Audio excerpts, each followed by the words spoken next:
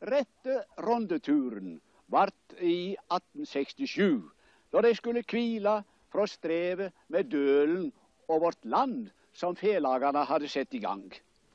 Den ferda har Vinje sjøl skrevet om i skildringer fra ei fjellferd.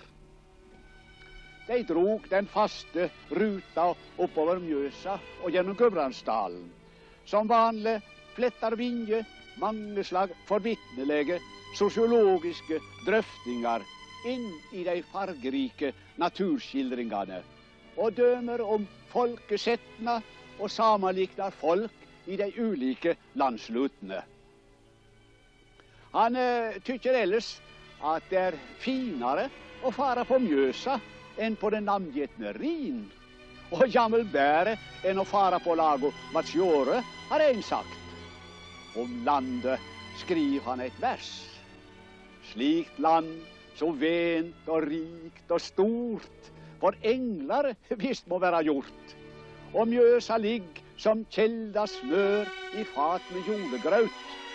Du land, du før mange folk, men enda flere naut.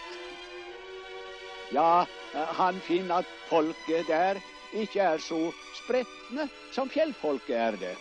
Og heller ikke så spreke og livlige i sin ånd.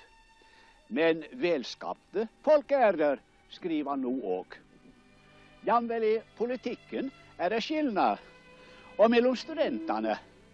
Det er liksom noe plogtungt ved disse her østifrå, enn skogbygdene slik som Solør er bedre. Ja, du, så du ikke den leirdølen som kom her om bord i Gjøvik? Hva som gjorde av kvikksølv. Og så vittig som han var i sitt mål og sine tankesprang. Og så alle de fra Valdres som likeens kom om bord der. Det lågar en annan eld i disse mørke øynene.